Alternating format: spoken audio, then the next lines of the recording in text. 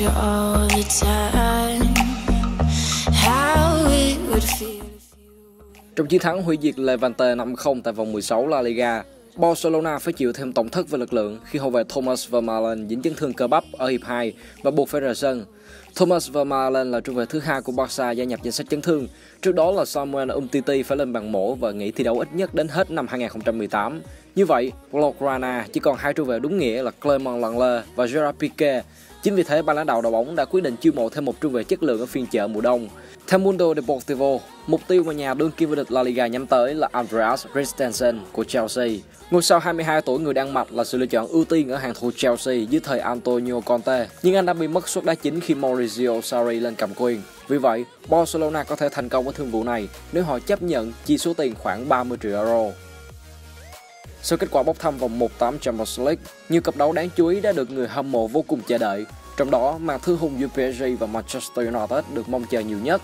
Xét về kinh nghiệm và truyền thống tại sân chơi này, Juventus hoàn toàn hơn hẳn so với Paris Saint-Germain. Nhưng ở thời điểm hiện tại, đội bóng của Pháp lại được đánh giá cao hơn nhà sở hữu một đội hình quá nhiều ngôi sao.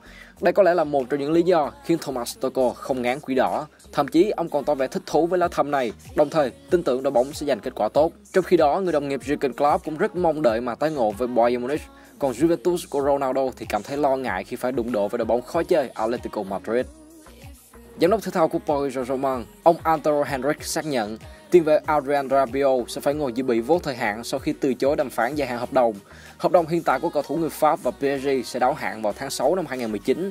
Suốt thời gian vừa qua, ban lãnh đạo đội bóng chủ sân công viên các hoàng tử và người đại diện của tuyển thủ Pháp đã có cuộc đàm phán để gia hạn nhưng đều bất thành. Theo luật, Adrien Rabiot sẽ được tự do đàm phán với bất cứ đội bóng nào sau khi thị trường chuyển nhượng mùa đông mở cửa vào đầu tháng Giêng. Tuy nhiên, đến thời điểm hiện tại, các đội bóng quan tâm đến Rabiot. Tuy nhiên, đến thời điểm hiện tại, các đội bóng quan tâm đến Rabiot chưa được phép tiếp cận chính thức với cầu thủ này.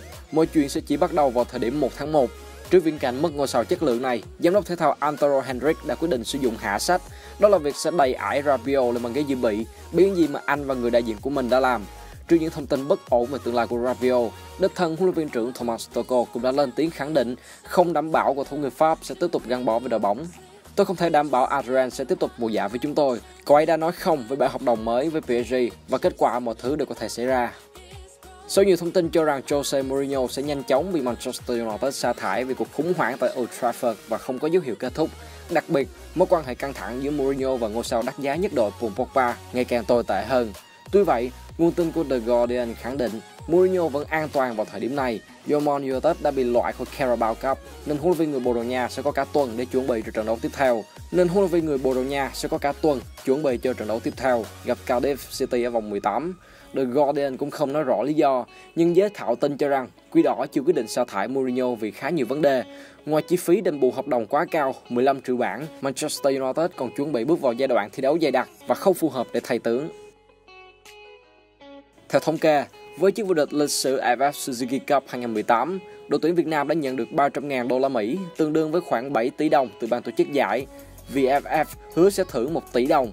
Bên cạnh đó, đội tuyển Việt Nam được 4 doanh nghiệp thưởng 1 tỷ đồng, 2 doanh nghiệp thưởng 2 tỷ đồng. Trước đó, sau chiến thắng Malaysia ở vòng bảng, Theodore Park đã nhận được số tiền thưởng 1,1 tỷ đồng.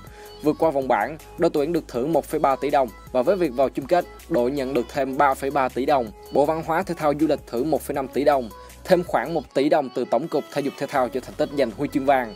Về các khoản thưởng cá nhân, Huy Hùng được thưởng 1 tỷ đồng khi ghi bàn mở tỷ số ở trận chung kết lượt đi. Anh Đức được thưởng 2,2 tỷ với bàn thắng duy nhất ở trận chung kết lượt về.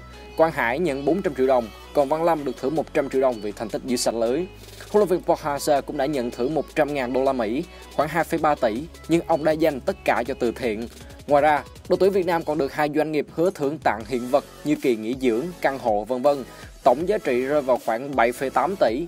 Như vậy, tổng cộng số tiền mà cả đội tuyển Việt Nam sẽ nhận được sau giải đấu là hơn 30 tỷ đồng từ các tổ chức và doanh nghiệp.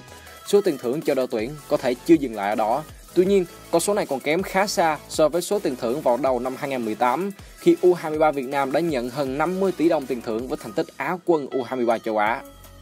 Theo kết quả bốc thăm tại Asian Cup 2019, đội tuyển Việt Nam sẽ nằm cùng bảng với những đội tuyển Iran, Iraq và Yemen. Huấn luyện viên Park Hang-seo cùng các học trò được cho là sẽ rất khó để cạnh tranh được một trong hai suất đầu bảng trước những đối thủ mạnh hàng đầu châu lục. Mặc dù vậy, so với những vòng chung kết trước, Asian Cup 2019 đã có sự thay đổi rất lớn về thể thức thi đấu. Nếu như 4 năm trước vòng chung kết chỉ có 16 đội tham dự và chia ra làm 4 bảng đấu để chọn ra những đội xếp nhất nhì mỗi bảng góp mặt ở tứ kết, thì tại giải đấu sắp tới, số đội tham dự đã tăng lên thành 24. Các đội được chia làm 6 bảng đấu, thi đấu vòng tròn một lượt. Hai đội xếp nhất nhì mỗi bảng sẽ được vào thẳng vòng trong.